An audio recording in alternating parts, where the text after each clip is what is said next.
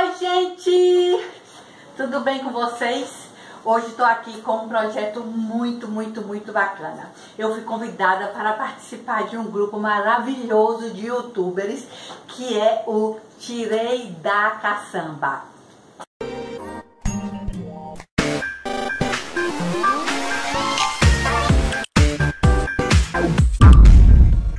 Como que funciona esse projeto?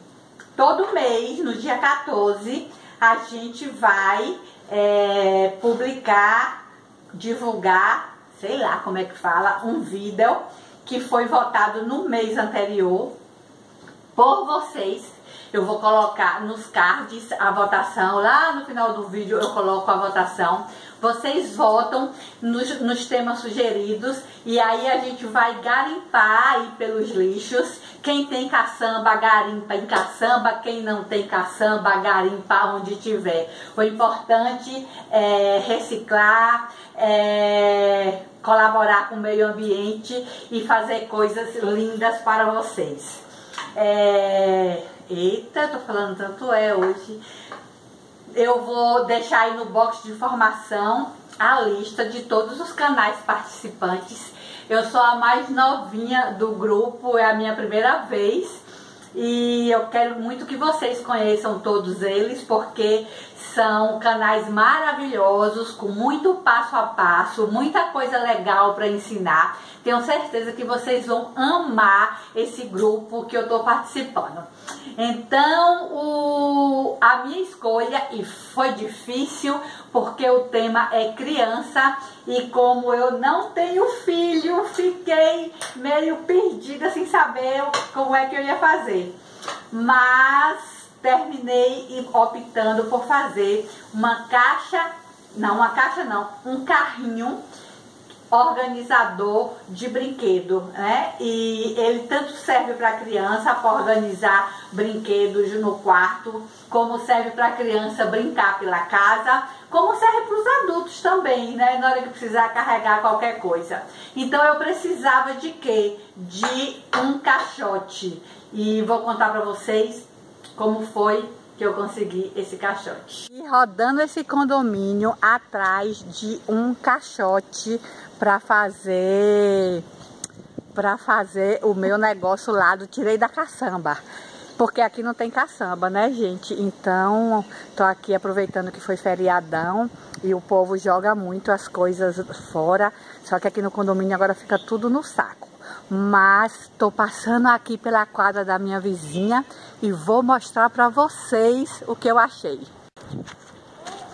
Olha só, achei, gente, um caixote que minha vizinha, e ela tá até aqui na porta, pedi para ela gravar para mim, porque é um caixote de feira que vai ser perfeito para o que eu quero fazer. Vocês me aguardem, vou correndo para casa porque meu prazo está se esgotando para vou desmanchar ele todinho, vou lixar e vocês esperem o que é que isso vai virar. Bora, bora, bora preparar as coisas. E aí o meu caixote todo lixadinho, ele veio bem cheio de de de, de fiapo, não, como é, como é aqueles? cheio de lasquinhas de madeira, Aquiles lixou tudo. E qual é a minha ideia? É, em transformar esse caixote num carrinho. Primeira coisa que eu vou fazer, eu vou colocar uma, eu vou fechar o carrinho aqui para esse lado. Então eu tinha um pedaço grande de fórmica, Aqui eles cortou para mim no tamanho certo e eu vou colocar essa fórmica aqui.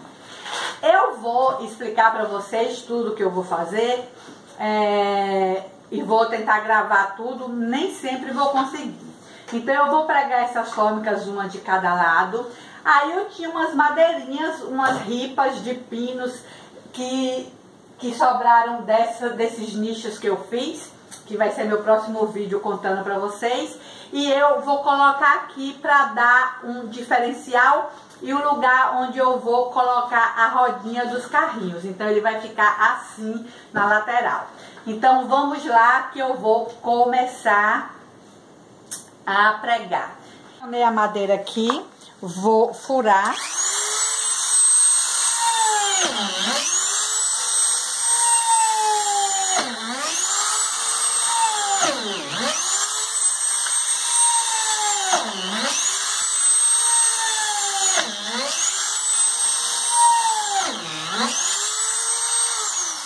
Pronto, depois que eu furei, eu vou colocar parafusos.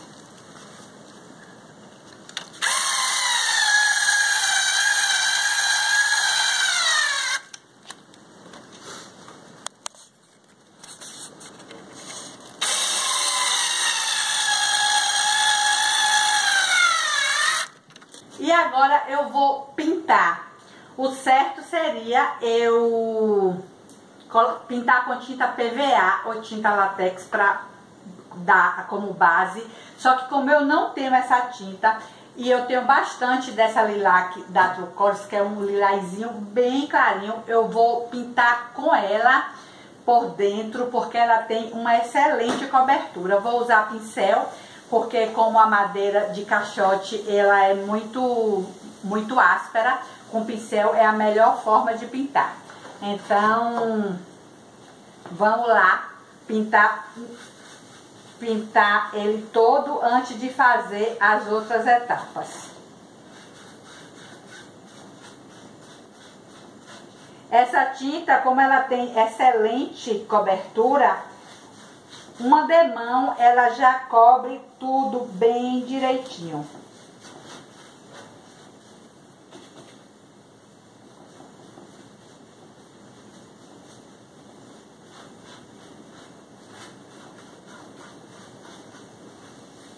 Eu tava aqui pensando que essas madeirinhas que eu vou colocar ali na, nas laterais, ela é de fórmica, tá?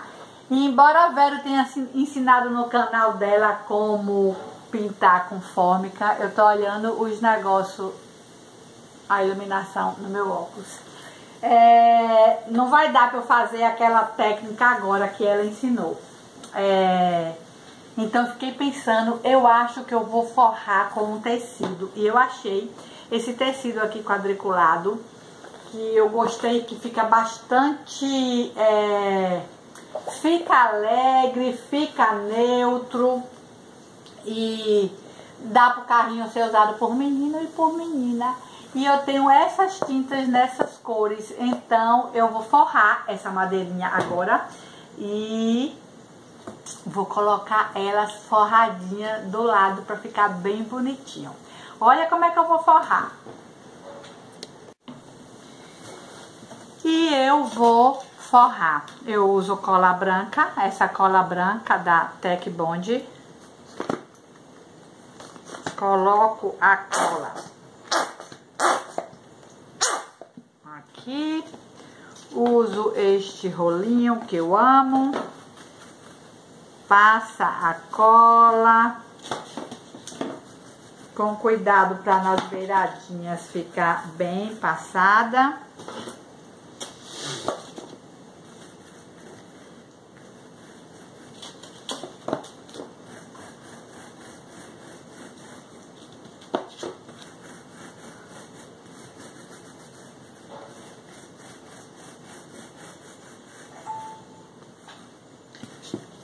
Pronto, passei a cola. Aí eu coloco aqui.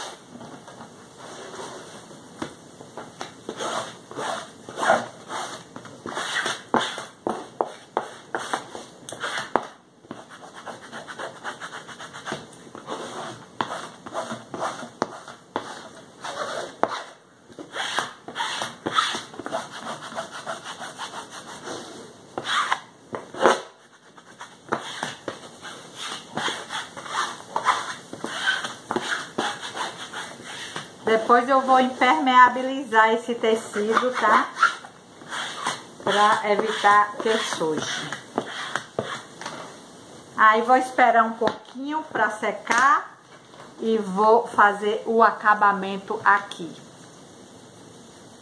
Acabamento eu vou usar cola de silicone. Aí eu vou passar a cola aqui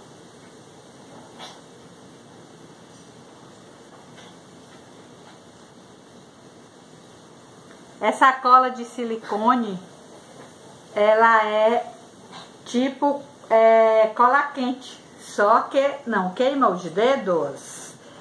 Pronto, colo coloquei a cola aqui, vou virar.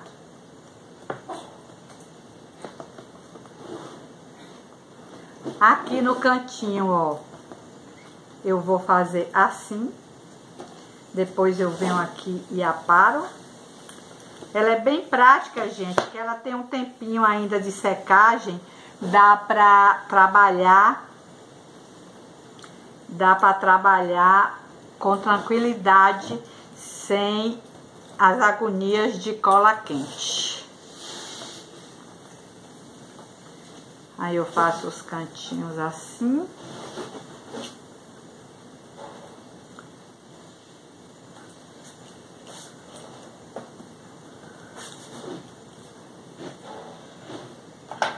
E aqui eu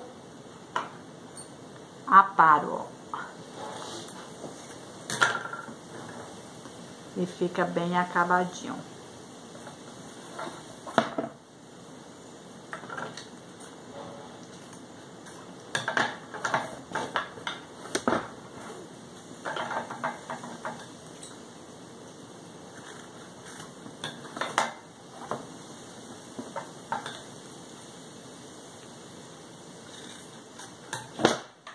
Pronto, vou fazer nas duas a mesma coisa.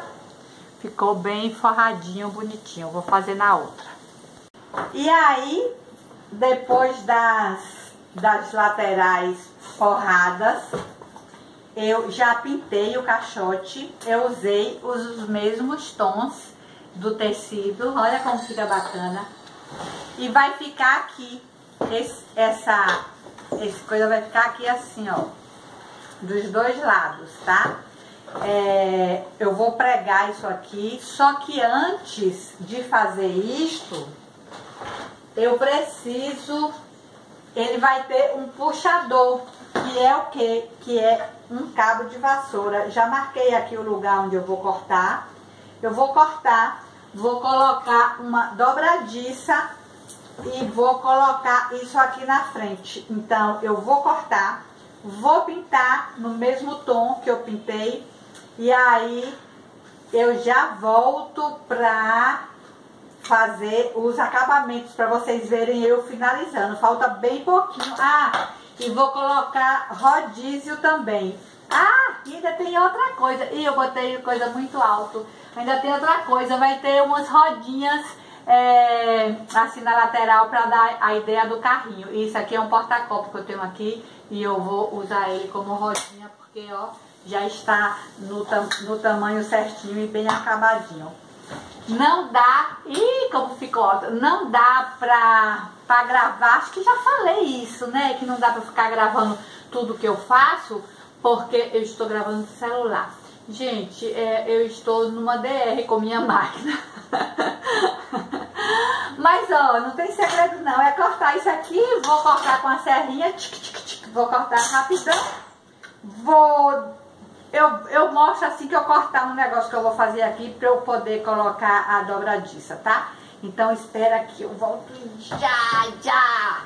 Então, um minuto para os nossos comerciais. Alô, alô, Terezinha. É porque eu tô com o programa do Chacrinha na cabeça. Eu acabei de serrar aqui o, o pau, né? Agora, é, vou serrar esse pedacinho de madeira aqui, que eu vou colocar a dobradiça.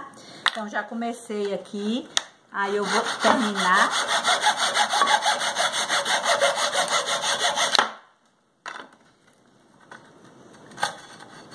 Eu vou lixar aqui depois. Aí, aqui, ó, o que é que eu vou fazer, ó. Eu vou tirar metade disso aqui. Pra poder encaixar essa madeirinha aqui.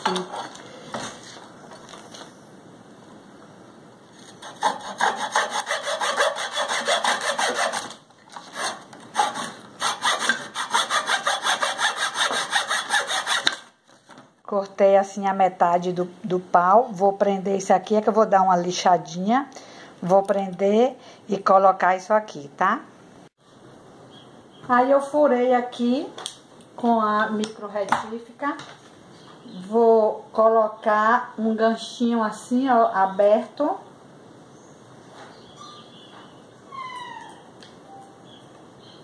Aí, neste ganchinho aqui, eu vou colocar este para ficar fácil de para ficar fácil de, como é que fala? De puxar.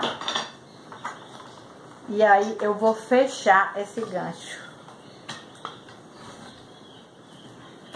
Pronto, fechei o gancho, tá vendo? Pra poder ter uma argola. Agora eu vou prender isto aqui. Vou prender isto aqui. Então eu vou fazer um furo.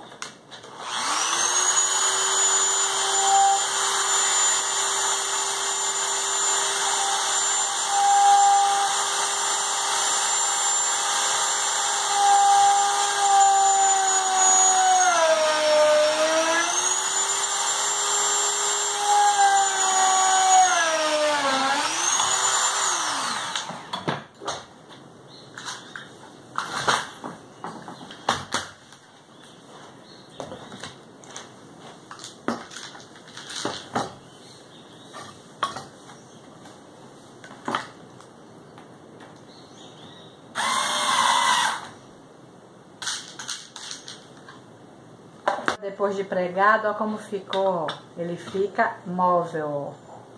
Que é, isso aqui vai servir para puxar o carrinho. Agora eu vou pintar, tá? Vou pintar de marrom, porque como a gente vai segurar muito na madeira para não sujar, e já já a gente vai finalizar, enfim, e vai ficar lindo esse carrinho. Então, ó, já preguei, com parafuso a, a parte de tecido. Já coloquei os rodízios. E o que é que eu vou fazer agora? E isso aqui, gente, é um porta-copo meu. Eu saí procurando alguma coisa redonda pela casa para eu fazer os, os, os... Ai, meu Deus do céu. As rodinhas do carrinho, ó. Pra ficar assim do lado, para aparecer a rodinha do carrinho. Então, eu vou pregar aqui foi até por isso, foi até por isso que eu botei essas madeirinhas aqui na lateral, para eu poder pregar e ficar parecendo que é uma rodinha de carrinho mesmo, né? O, o negócio já, o negócio de que vai puxar aqui eu já pintei. Então o que, é que eu vou fazer agora? Vou, vou pregar as rodinhas, vou botar o negócio de puxar, não pintei aqui porque aqui é onde vai ficar grudado.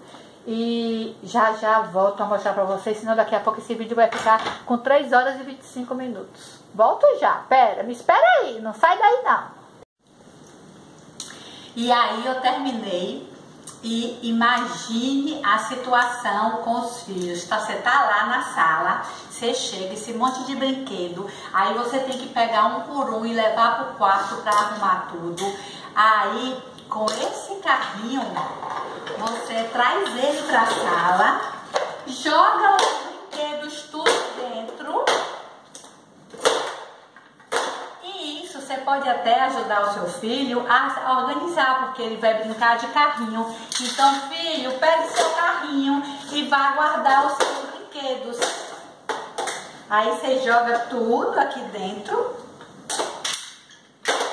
Isso aqui, ó e você pede pro filho guardar o carrinho. Tchau! Peraí, pra brincar até um pouquinho na sala. Tcharam, e aí, que tal, gente? Eu espero que vocês tenham amado tanto quanto eu amei esse carrinho. Ele tá aqui do meu lado, ó. Ah! E claro, né, que eu não vou usar ele como carrinho de brinquedo, eu vou usar ele como carrinho de carregar tralhas pela casa. Ah, eu amei isso, quando eu estiver fazendo minhas coisas que eu precisar carregar furadeira, um monte de coisa, eu vou jogar tudo no carrinho.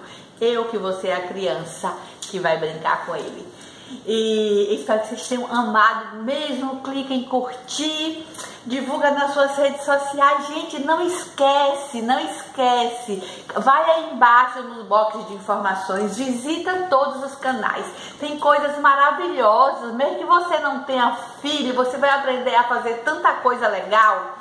e, e, se inscreve nos canais de todo mundo para você não perder nada do Tirei da Caçamba. Todo mês, dia 14, a gente tem uma coisa bem bacana.